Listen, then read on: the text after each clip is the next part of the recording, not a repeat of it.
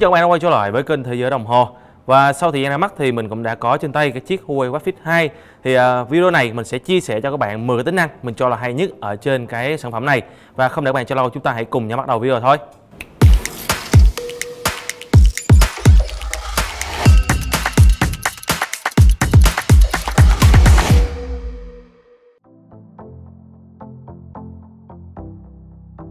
Tính năng đầu tiên muốn chia sẻ cho các bạn đó là tính năng thay đổi giao diện hình nền. Và để thay đổi thì các bạn có thể vào trong ứng dụng Huawei Health ở trên cái à, chiếc điện thoại, sau đó vào phần thiết bị. Thì đây các bạn sẽ thấy cái phần à, Watch Face hoặc là các bạn bấm vô cái phần Huawei Watch Fit 2 luôn là cái thiết bị các bạn đã kết nối. Rồi chọn phần thêm. Thì trong đây nó sẽ có những cái mặt đồng hồ mình có thể mua hoặc là những cái đồng hồ miễn phí ở đây. Đó các bạn thấy thích hình nền nào các bạn bấm vào cài đặt ở đó. Ngoài ra thì đối với bạn nào mà muốn cài đặt cái hình nền cá nhân ở trên cái chiếc điện thoại là mình nền của chiếc đồng hồ này á thì các bạn lưu ý, mình sẽ bấm vô cái phần app gallery này thôi nha các bạn. Đó, bấm vào phần này thì nó sẽ cho phép mình thêm những cái hình nền ở trong cái à, chiếc điện thoại của mình, vào cho cái à, chiếc đồng hồ này. Rất đơn giản. Ngoài ra thì à, mình có thể thay đổi hình nền trực tiếp ở trên cái chiếc đồng hồ này luôn, bằng cách mình sẽ nhấn giữ vào đồng hồ này. Đó, sau đó mình sẽ lựa chọn những hình nền nào mà mình muốn ở đây, hoặc mình bấm thêm để mình thêm vào. Đó, rất là dễ dàng. Kế tiếp là tính năng thứ hai, tính năng chép nhạc vào bên trong cái à, chiếc đồng hồ này. Và để chép nhạc thì mình cũng sẽ vào trong phần thiết bị và chọn phần music. Đó thì ở trong đây á mình à, lưu ý là mình phải chép nhạc sẵn vào trong cái chiếc điện thoại rồi. Rồi sau đó mình bấm vào phần quản lý nhạc. Lúc này mình sẽ bấm vào phần thêm bài hát. Thì ở đây mình có thể chọn những cái bài hát mình đã tải sẵn. Đó mình thêm ví dụ một bài thôi nha. Thì lúc này nó sẽ đồng bộ vào trong cái à, chiếc đồng hồ của mình. Và mình sẽ vào trong ứng dụng nhạc đó, thì đây nó sẽ hiển thị cho mình cái phần bài hát nè. Mình có thể nghe nhạc trực tiếp ở trên cái chiếc đồng hồ này luôn, hoặc là mình có thể nghe qua tai nghe, vẫn đều được.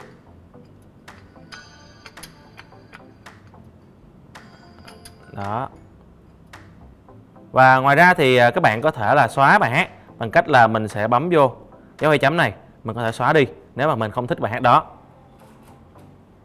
và tính năng này sẽ giúp ích cho các bạn khi các bạn uh, sử dụng tập luyện bên ngoài. Chỉ cần đeo tai nghe và không cần mang theo cái chiếc điện thoại bên mình vẫn có thể sử dụng được luôn.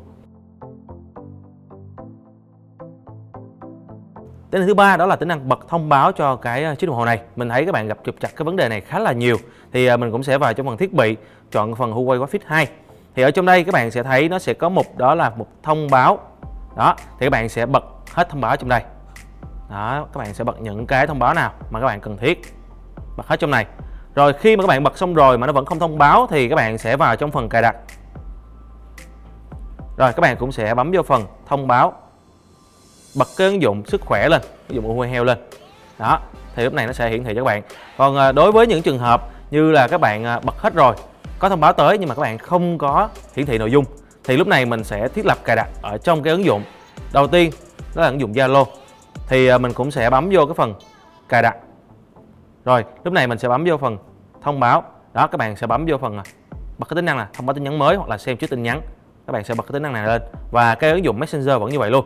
Thì khi mình bật lên hết rồi, thì lúc này khi có thông báo tới thì nó mới hiển thị cái nội dung tin nhắn lên cho bạn xem nha. Đó, các bạn lưu ý mình vấn đề này. Kế tiếp tính năng thứ tư, đó là tính năng trả lời tin nhắn nhanh ở trên sản phẩm này. Thì à, để thiết lập cái câu trả lời tin nhắn nhanh á, thì à, mình sẽ bấm vô. Đây Huawei Fit 2 và mình sẽ ấn vô phần là trả lời nhanh. Thì đây mình có thể thiết lập những cái nội dung tin nhắn nhanh. Khi mà có cuộc gọi đến thì à, mình có thể mình trả lời nhanh được. Hoặc là những tin nhắn, ví dụ như tin nhắn mặc định nè, hoặc tin nhắn ở bên messenger thì mình có thể trả lời nhanh được ở trên đây. Đó, mình có thể thiết lập trực tiếp ở trên đây luôn. Đó, mình ví dụ cho bạn nha. Rồi, mình có thể mình đưa lên trên. Đó, hoặc mình có thể xóa bỏ nếu mình thấy không cần thiết. Rồi, và bây giờ mình sẽ test một cái tin nhắn cho bạn xem rồi khi cái tin nhắn tới nè. Đó mình có thể vuốt từ dưới lên. Rồi lúc này mình có thể trả lời tin nhắn nhanh như nãy mình có thiết lập.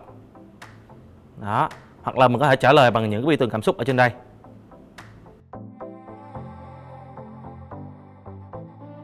Tính năng thứ năm đó là tính năng thêm số liên hệ ở trên sản phẩm này.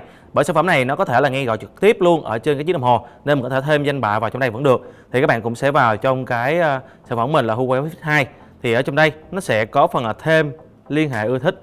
Và ở đây thì nó chỉ cho phép mình thêm 10 số thôi nha. Các bạn lựa những cái ờ, số nào mà bạn hay thường xuyên sử dụng á, thì các bạn sẽ bấm vào. Đó, mặc dù mình đã lưu 11 số nhưng mà ở đây chỉ chọn được 10 số thôi. Rồi, mình sẽ bấm đồng bộ vào. Thì ờ, lúc này đây, ở trên cái ờ, chiếc đồng hồ, đó, mình có thể mình vào cái phần danh bạ nè. Và liên hệ trực tiếp những cái số mà mình đã lưu ở trên đây. Khi mình bấm đó, nó có thể gọi trực tiếp luôn. Rất là nhanh chóng. Và ngoài ra thì à, các bạn có thể là xóa cũng được luôn. Bằng cách là các bạn bấm xóa đây. Xóa những cái số liên hệ nào mình muốn không muốn sử dụng nữa. Đó.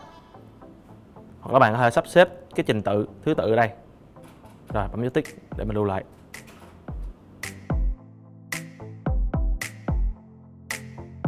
Tính năng thứ sáu, đó là tính năng tải ứng dụng ở trên cái chiếc đồng hồ này thì để mình tải được ứng dụng thì mình cũng sẽ vào trong cái à, điện thoại.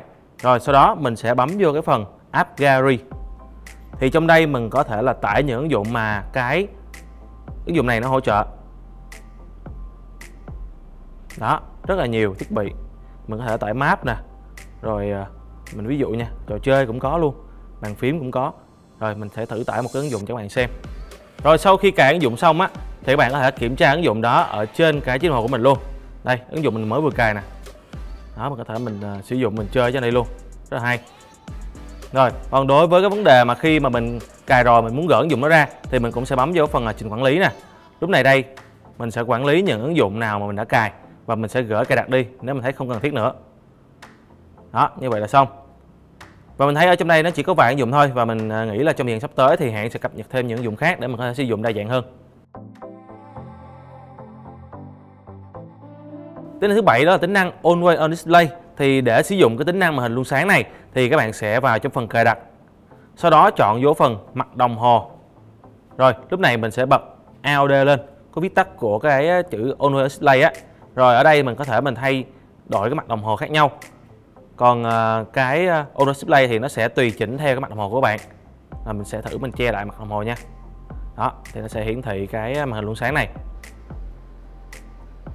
tùy vào cái mặt của các bạn thôi đó ví dụ mặt đồng hồ này đi rồi đó khá là ok Kế tiếp tính năng thứ 8 là tính năng kết nối Bluetooth ở trên cái chiếc đồng hồ này. Và để kết nối Bluetooth thì các bạn cũng sẽ vào trong phần cài đặt. Rồi, vô phần Bluetooth. Thì ở đây á, các bạn có thể là kết nối Bluetooth với lại à, tai nghe nè, hoặc à, kết nối Bluetooth với lại loa nè để các bạn có thể sử dụng. Rồi bây giờ mình sẽ thử kết nối với lại cái tai nghe của mình nha.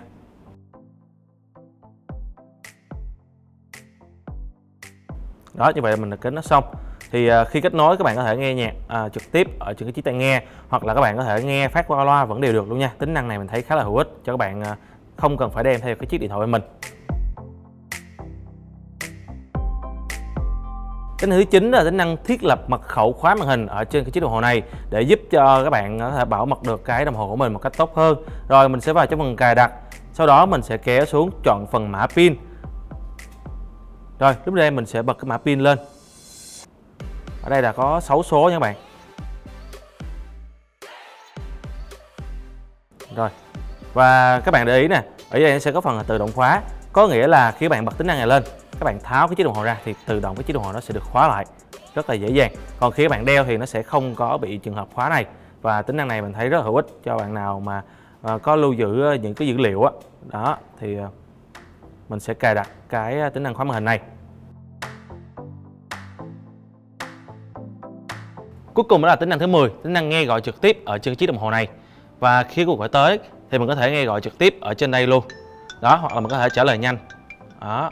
Và những câu trả lời nhanh thì mình có thể là thiết lập ở trong cái phần hồi nãy cũng được luôn.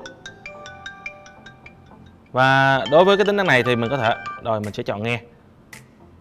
Đó, tăng giảm âm lượng trên đây. Rồi, cũng như là kết thúc cuộc gọi và tới này mình thấy rất là hay đối với cái chiếc Huawei Watch Fit 2 lần này được cải tiến thêm cho mình đó là mình có thể nghe gọi trực tiếp ở trên cái chiếc đồng hồ này luôn và đó là 10 cái tính năng mình cho là hay nhất ở trên cái chiếc Huawei Watch Fit 2 lần này. Và nếu bạn nào thấy những tính năng nào hay hơn, có thể comment, chia sẻ video dưới để mọi người cùng biết. Cũng như là thấy video này hay hữu ích thì cho mình một like, share và subscribe kênh để xem nhiều dung khác nhé. Xin chào các bạn và hẹn gặp lại các bạn trong các video tiếp theo.